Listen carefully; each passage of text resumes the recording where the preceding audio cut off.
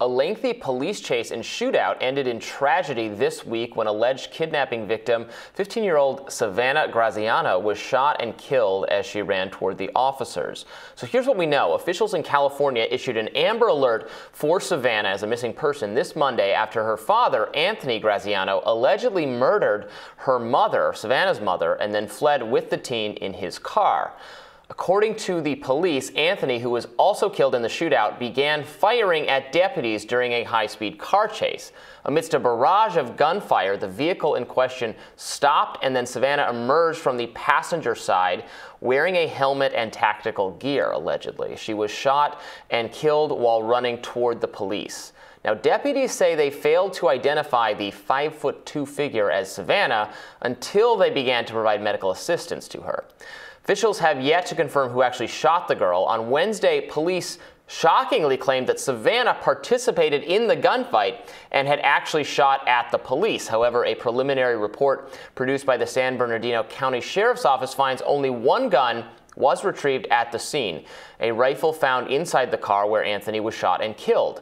Joining us now to weigh in is New York Public Defender for Legal Aid and political commentator Olayemi Olurin. So great to see you this morning, Olayemi. Thank you for having me, y'all.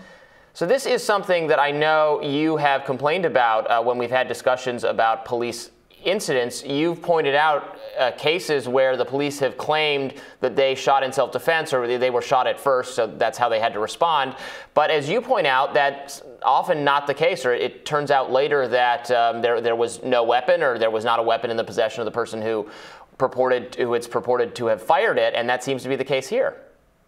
Exactly. That's the same thing here. You know, it's unfortunate that the police engage in this kind of negligence routinely. And I wish I could say I was shocked, but I'm not. The police admit to shooting and killing over 1,045 people each year. So does it shock me that the police would shoot and kill this girl? No, but it's so unfortunate because when you talk to people about the, the case of police brutality and what's happening with police in this country, the response is always, well, what do we do without police? What happens in these kind of incidents? And it's like, well, look at what happens. This is what the police interference is, right? You have a girl that's been kidnapped by her father, and instead of safely getting this girl back to the family, what they do is they don't just shoot and kill the father. That's one thing, neither here nor there, but they know that little girl was unarmed. You know exactly who you're looking for. You notice this is a 15 year old girl. You know it, and yet they shoot her to death, and they don't just, it's not even an apology. It's not even remorseful for the actions. The immediate, immediate response is what you see them do in every case of police brutality is vilify the victim. Immediately, it's, oh, she was participating in the shootout oh, we didn't know if she was unarmed. We didn't know if she was armed. You did know. Your entire task was to go and rescue this little girl. And instead, her assuming, because she's taught, like everybody else in the society, to believe the police are there to help her, she runs towards the police and they shoot her to death. And their response is vilify the child that was supposedly the victim that they were going after. It's unacceptable, but it's not uncommon. And that's the greater problem. Right, because this was a very dangerous situation. I mean, they, they, the, uh, the, the kidnapper, the the alleged kidnapper, the father, um, you know, did did shoot at them. It was a high speed car chase, so it was a, a dangerous situation. A situation that I think probably most people think, yeah, this this is this is what the police are there for. This is what they're supposed to do.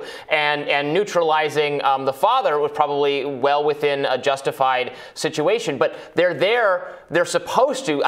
their point, the very point, is to rescue that girl, and for them to have it, it is by it, like it is de facto negligent. Like it, it just is negligent right. because they were supposed to rescue her.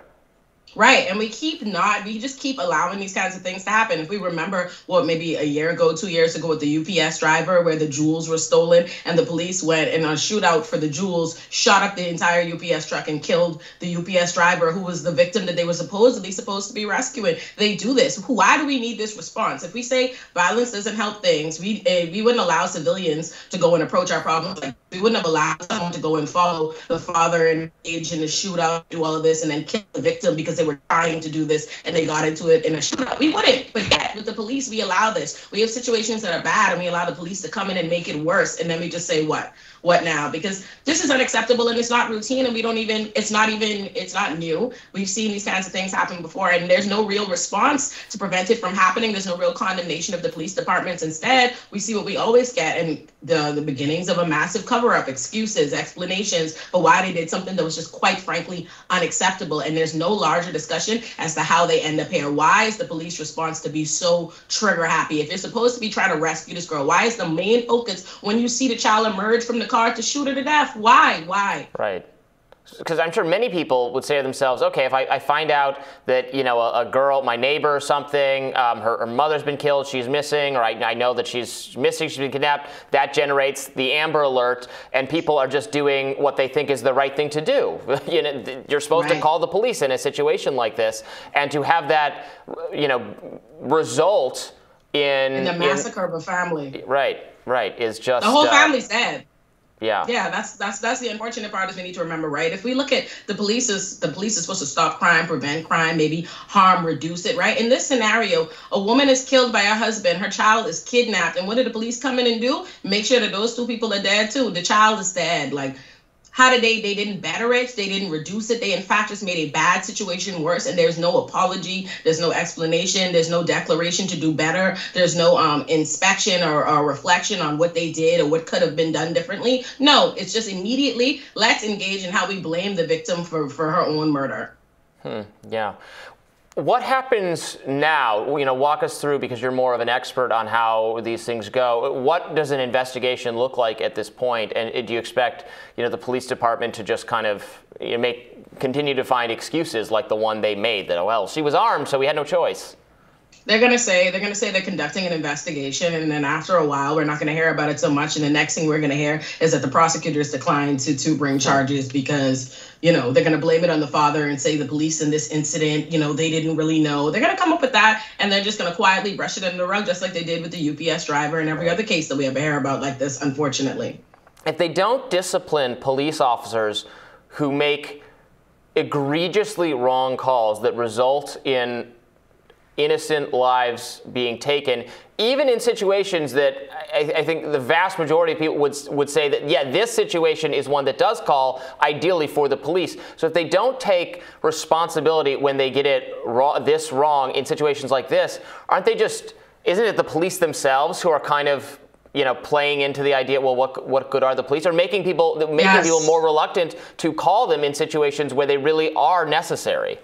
They are making the case. What we constantly say to people is police do not stop or prevent crime. Whenever we talk about, you know, abolishing the criminal system or why we need to defund the police or any of these things, the answer is the police do not do what we think they do. They simply don't, and they do it ineffectively. Police solve maybe less than 2% of crime in America. They certainly don't stop it. They don't prevent it. They respond. They respond to crime. They respond to situations, and they often respond worse. They often exacerbate and worsen situations that are already underway. And the problem with stuff like this is whenever you want to have these conversations and people want to bad, you know, bad apple it, they're just occasional bad officers. If they were let's say let's say that's the case and it's not the entire problem is not with policing. We just have a lot of bad actors that are engaged in constant police brutality to do incidents like this. What does it say if the police departments themselves cover for those people. If they say no they're not bad apples. This is okay. This is acceptable which is what they continue to tell us. So if they say that this is not a problem this is not you know an outlier this is not a reflection of individual bad cops but in fact this behavior is acceptable and we the victims or the people that are being killed are the ones that are wrong. What does this say about our policing system and what will continue to happen?